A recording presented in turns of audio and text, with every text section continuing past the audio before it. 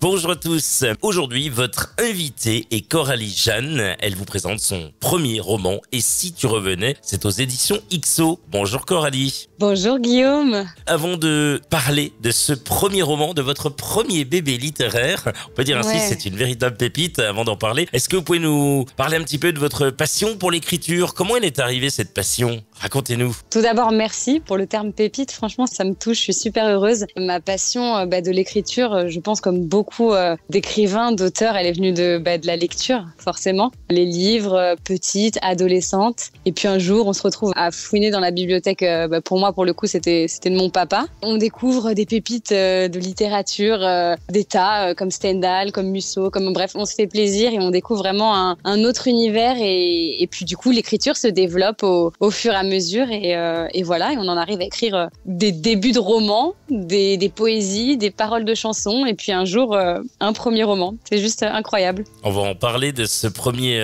roman. Et si tu revenais aux éditions XO, comment il est né? Pour celles et ceux là qui viennent d'arriver, là, pour leur expliquer un petit peu le point de départ, comment il est né ce roman? Expliquez-nous. Je voulais écrire une histoire d'amour. J'avais commencé plein d'histoires d'amour que j'ai laissé traîner dans des cahiers ou sur le coin de mon ordinateur. Et c'est vrai que j'ai toujours été fascinée par euh, qu'est-ce qu'il y a après la vie et puis surtout euh, cette question euh, du sens de la vie, mais surtout du sens de la vie lorsqu'on perd la personne qu'on aime. C'est quelque chose qui m'a toujours terrifiée et que je me suis dit mais comment on peut faire, comment on fait? Et s'il y avait une solution de briser ce cycle, quelle serait cette solution? Enfin bref, du coup je suis partie dans un chapitre comme ça un jour par hasard un matin chez ma maman au Sable d'Olonne, j'ai écrit le premier chapitre et après tout s'est enchaîné super vite. Et si tu revenais est né comme ça. Ça a été quoi le plus compliqué Puisque c'est le premier, donc ça, a été quoi vraiment? Parce qu'après, ben, on passe à autre chose. Il faut envoyer le manuscrit. Il doit être retouché, je suppose. Ça n'a pas dû être facile. Hein Le plus compliqué pour moi, ça a été d'injecter. euh, Il y, a- un peu de surnaturel dans mon livre. euh, bah, vous l'avez lu, donc euh, c'était pas du tout mon, délire d'écrire, euh, même de lire du surnaturel, des livres de, science-fiction.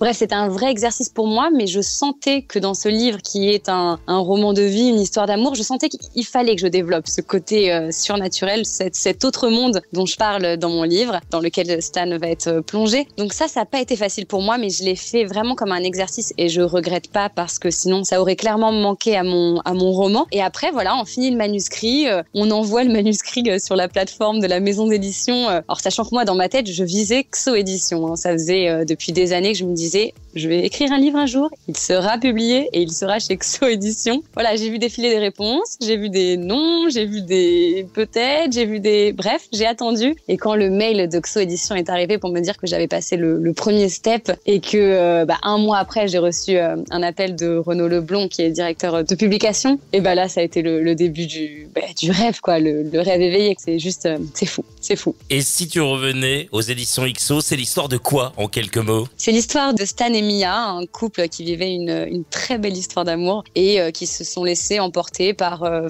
les, tourments, les problèmes. Euh, Pour eux, ça a été un drame de la vie qui a fait qu'ils se sont éloignés. Et malheureusement, comme ça pourrait arriver dans tous les couples, un jour, une dispute, Stan qui claque la porte de l'appartement et Stan qui donc a un accident et qui meurt. Bah, Mia va essayer d'apprendre à vivre sans Stan à ses côtés, mais elle va très vite réaliser que la vie euh, sans lui euh, n'a pas vraiment d'intérêt. À ça s'ajoute la culpabilité parce que bon, ça fait des années qu'elle était en colère contre lui. euh, donc il y a un vrai message dans mon livre que j'ai voulu laisser là-dessus sur le fait de ne pas perdre de temps et de pas se laisser dévorer par la rancœur. Et Mia, un jour, elle va au cimetière et elle rencontre un type très bizarre qui va lui proposer un deal, celui de faire revenir Stan, mais à quel prix? Donc Mia va devoir euh, faire quelque chose. Bien sûr, je, je, je, je ne vais pas dire quoi. Va sceller un pacte. Ben voilà, la suite, il faut, ben, il faut lire mon livre pour le découvrir. Exactement, on n'en dit pas plus. Bon, on suppose que euh, là, on va laisser tranquillement euh, ce livre bah, faire sa promo, son petit bonhomme de chemin. Suppose C'est gentil, que merci. Il y a déjà des, des histoires un peu dans la tête, peut-être d'autres projets euh, d'écriture? Alors attention, petit scoop, j'ai terminé mon deuxième roman. Je l'ai terminé il y a deux semaines. Là, je vais relire tranquillement, corriger, couper, on va voir. Mais ouais, d'ici, euh, j'espère l'envoyer à ma maison d'édition d'ici euh, d'ici un petit mois. Donc voilà, un deuxième roman fini et du coup, bah, je vais attaquer le troisième. Excellent, elle ne s'arrête jamais. On sera, me- pour le deuxième, on sera un peu dans le même genre ou pas du tout? Là, euh, surprise, surprise, c'est totalement autre chose. Non, non, ce sera toujours, enfin, ce sera une histoire d'amour. C'est une autre histoire d'amour, mais euh, voilà, on est sur un autre thème, on est sur deux autres personnages, on est sur une toute autre intrigue, donc c'est vraiment une histoire euh, différente, mais toujours beaucoup, beaucoup, beaucoup d'amour parce qu'on en a bien besoin, je crois. Oh que oui.